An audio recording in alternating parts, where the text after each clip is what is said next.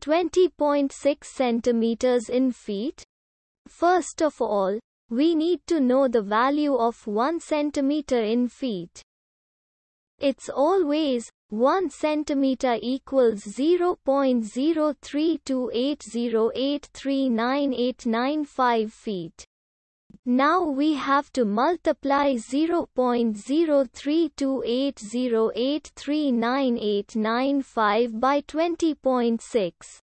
Therefore, 20.6 centimeters times 0.03280839895 feet equals 0.67585301837 feet.